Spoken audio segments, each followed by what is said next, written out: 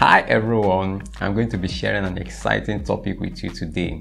For those joining us for the first time, you are welcome. Today I'll be talking about what to do as Windows 7 support ends, as it is already official from Microsoft that the support for Windows 7 will end on 14th January 2020. If you are using Windows 7, you should be seeing some notice about this by now that you will no longer be receiving updates and security fixes that can protect your PC from harmful viruses and malicious software and you are recommended to upgrade to Windows 10.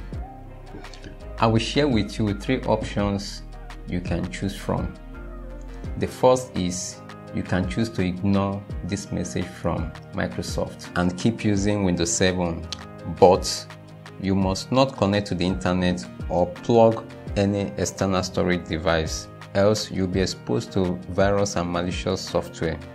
But if you have to, then you need to install a good up-to-date antivirus software.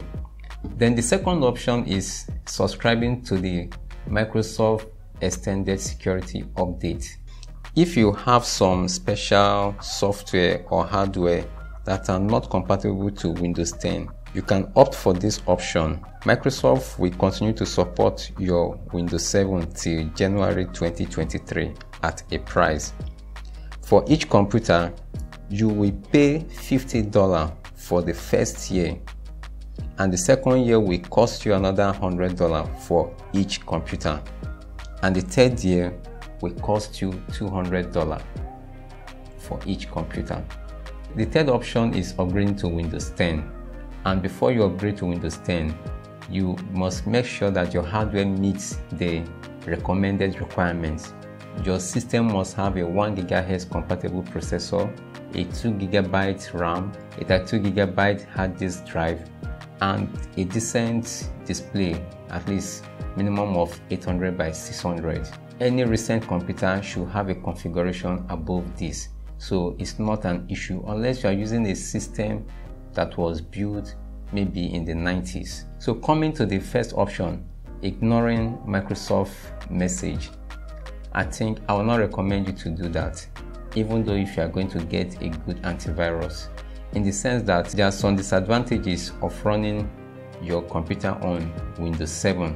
Some of these are like modern computer peripherals like printers, scanners, cameras, some of them or the recent ones are not compatible with Windows 7.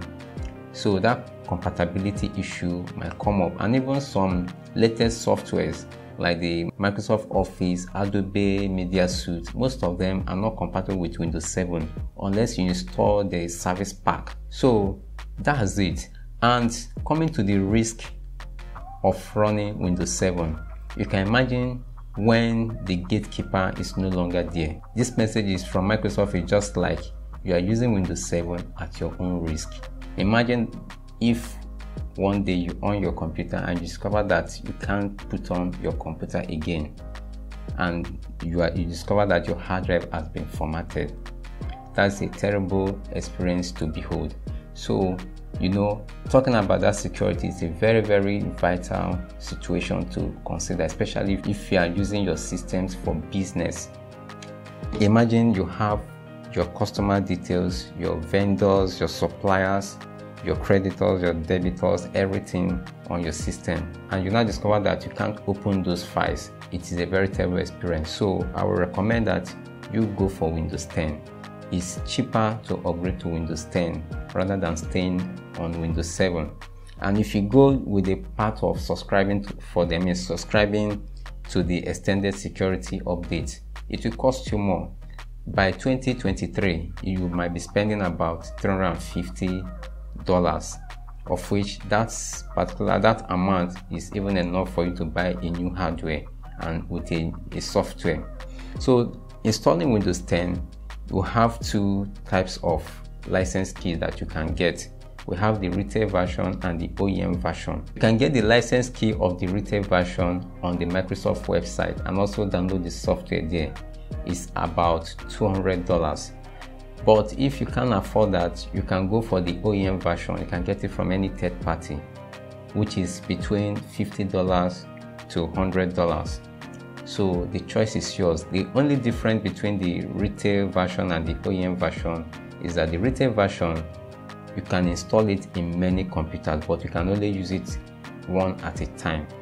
But the OEM is locked to a particular system that you install it. So if you install a OEM version of um, of Microsoft Windows 10 on a particular system you can't use that license key in any other system. So that's the difference so now that you've known the options you can choose if you're still using Windows 7 it's now left for you to make your choice. I hope you have learned something new in this video and if you do, please give it a like and share it to friends and colleagues. And if you have not subscribed, please hit the subscribe button and turn on your notification so that you'll be notified when next I upload useful videos like this. Thanks for watching. See you in the next one.